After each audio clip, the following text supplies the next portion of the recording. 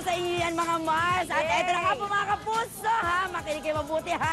Mahigit apat na siglo na pong nakakaraan na umusbong ang maliit na lugar na kung tawagin po ay Tambobong mga kapuso. Ito ang dating pangalan po ng Malabon na hango sa tambo o kawayan kagaya ng hawak ko ngayon na makikita nyo noon pag kayo po ay nadalaw po dito mga kapuso. Ito po ang dating pangalan ng Malabon na hango sa tambo o kawayan po. Kaya naman ngayong araw ay una po sa unang hirit ninyong masasaksihan ang pagdiriwang ng kanilang ikatatlong Tambobong Festival! Yes naman! Dati pa raw ay talagang nakikipagkalakal na po ang ating mga ninuno po sa mga baybayin po ng Malabon na, of course, mula sa kalapit na mga bansa po mga kapuso ha. At syempre, sa paglipas po ng panahon, ay naging isang importanteng syudad na po ito talaga na talaga mang dapat puntahan. At syempre, para malimot ang syudad na ito mga kapuso, Oy, usong-uso po dyan ang paggamit po ng mga tricycle dahil sa maliliit na dahan at iskinita na tanging ang mga ito lamang po ang kasya. At siyempre sasakyan ko yan. Ito po ang kanilang oh, tricycle na yan.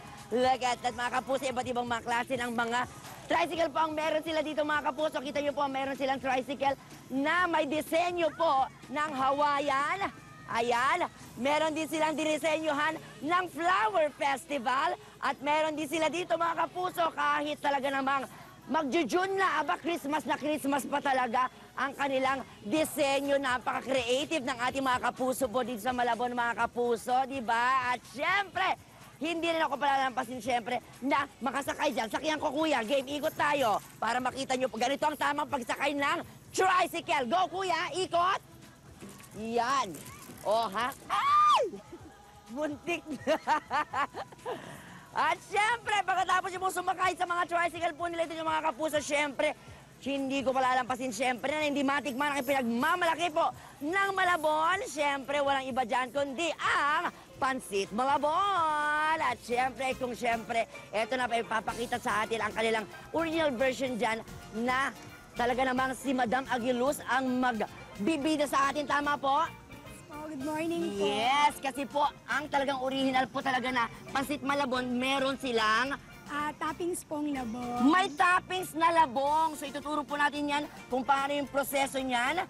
Go po, Mami Aguiluz. Ah, ah, ang una po natin gagawin, ah, yung noodles Mhm. po na pinakuluan, ah, palalambutan, tapos po, hanguin na lang siya. Hahanguin. Naku, mabilis lang po yun. ah, palambutin po, no? Ayan, ang Kasi lambot. ano po siya, eh, binababad muna po siya bago siya ilagay sa tubig. Okay, Ah, at tapos ilalagay ilalagay na natin po yan dyan. Puting-puti. sa- Yes. Ah, Pagkatapos Tapos po niyan, Madam Daisy. ah, lalagay na po natin yung ano, ah, patis at kalamansi. Ayan, Eh, pampalasang patis at kalamansi na yan, mga kapuso. Tsaka po ito. Ah, lagay natin ang kalamansi. Kalamansi! Halo. Naku, ang swerte natin kasi Tapos matitikman po- natin yan dito ngayon. At syempre, ang paborito Lagay po natin, natin yung paminta. durog. Pamintang durog. Yan. Paborito niyo rin po ba yung Ma'am Yes, Daisy? opo. Naku, parehas Lagyan po natin ng paborito. bawang na fried Bawang na. na binusa po. Binusa! Para po, ano, Ay, opo. naku, kakaiba yung Para po pangalan niyan. masarap. Bawang na binusa. Opo, gisa po siya, gisa. Ah, gisa. Tapos ilalagay na po.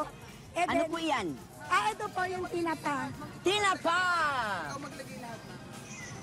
Tapos Grabe. po ng tinapa, tsaka po haluin po uli natin. Halu-haluin. Ah, halo lang po ng halo. Mami Daisy, gano'n ka na Tapos- kayo katagal gumagawa po ng inyong uh, malawa, um, pansit malabon? Bali, 30 years na po to. 30 years na Apo. kaedad ko! Wow! Apo. Lagay Ano na po rin yan? po natin ang palabok.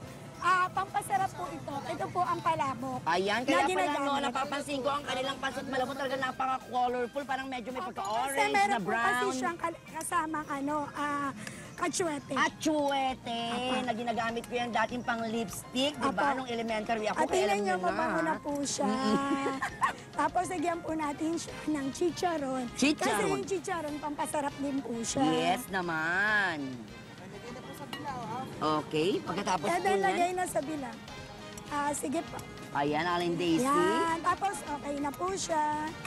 At ang susunod dyan, Aling Daisy, lalagyan syempre yan Sa na bila. Oh. mga toppings-toppings. Ito na, oh. Yes! Ayan. Lagay po natin Wah! sa bila. Oh. Sa bilao.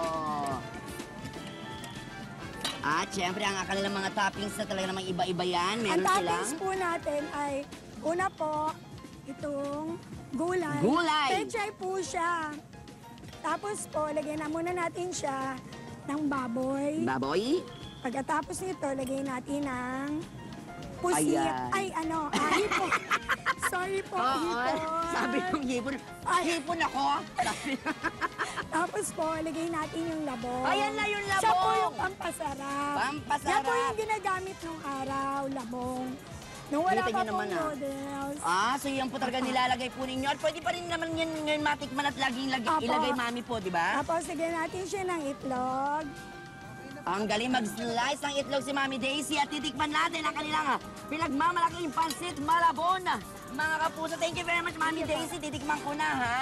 Siyempre, ito muna, ayan, yung noodles at siyempre yung may kasamang labong. Nako, mm, ha, tikman natin. Mm. Ang lasa, Mami Daisy, ang galing, ang. No wonder, binabalik-balik ng ating mga kapuso. Yan talaga naman perfect na pampasalubong mga kapuso. At syempre, ano bang bagay sa pansit malabon? Ah, syempre, walang iba dyan, kundi ang halo-halo! Ayan na pwede nyo rin makita po at matikman po. Dito po, mismo yan, sa um, Malabon. Siyempre, gagawa tayo agad-agad iba't ibang mga um, ingredients din ang nilalagay nila dito mga kapuso. Perfect na perfect, no? Dahil hindi pa tapos ang summer, aba may palangka sila. Oh. At siyempre, mamimigay tayo niyan sa ating mga kapuso nandirito. Sinong gusto ng halo-halo? Ipakita nyo muna. Ipakita nyo muna yung halo-halo dance. Halo-halo dance. Yan, sumasayaw dapat. Natalie Coco. At syempre ang Crush Ice. Woo! Yes, mga kapuso. Oo, ay! At syempre ang Gatas. Ay! Ayan. At syempre, ang una natin bibigyan yan, syempre, ang ating bagets. Okay, mga bagets muna nahin natin para sa ito, baby. Ayan. Lagyan din natin yan. Okay, have yourself. Ayan. O, share nyo yan, ha, para masarap talaga. Okay, senior naman daw, senior. Si, nagtampo ang senior. Ay, mami, ayan. Si mami, ang cute-cute ni mami. Senior din po kayo, nakaya dahil yan para po sa inyo yan.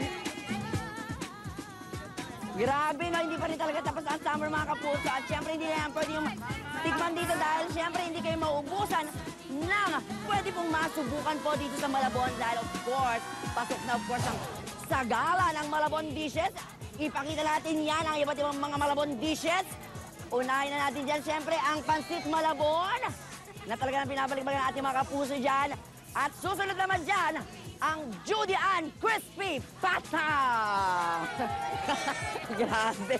Judy Ann Crispy Pata na tagal sikat na sikat sa kanilang crunchy na balat at malambot na laman, mga kapuso. Sunod naman dyan, siyempre ang oil ang ginagamit. Grabe, at siyempre may okoy din sila dito. At pag natikman mo yan, sasabihin mo talaga na okoy na okoy ka, mga kapuso. Okay na okay pala. Siyempre, hindi magpapakuli dyan ang mga kakanin at pichi-pichi! Grabe naman. At siyempre, ang sapin-sapin!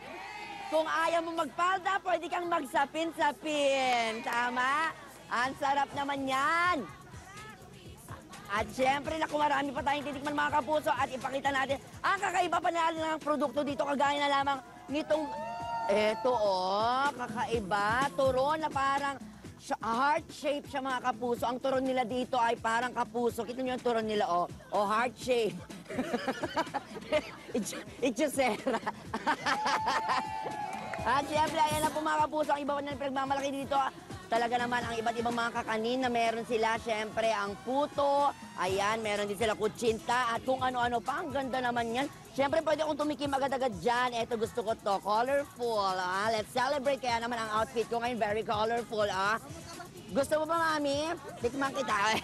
One, two, three, eh. Ah. Ang sarap! At siyempre, mamimigay ulit ako sa inyo! I-share natin. Mm-mm. Go, mami, i-share nyo na yan. I-share, share. I-share natin yan. Ayan. Siyempre, pagkatapos niyan, aba, siyempre, dahil summer na summer pa rin tayo mga kapuso, meron tayong mga summer cooler na ibibigay sa inyo na pwede niyo pong matikman dito ang kanilang mango shake. Meron silang mango graham. Mamimigay din tayo yan. Oh, ha? Sobrang naman kayo, mami. Ayan. Na- Nagkakagulo na sila dito mga kapuso. Ang saya sa malaban. Mamaya madami pa kami bibigyan sa inyo, kaya dyan lang kayo. ha? Babalik yung pambasa mo. Wala na. Ubus na. Magbabalik yung pambasa morning show. Unang hirit!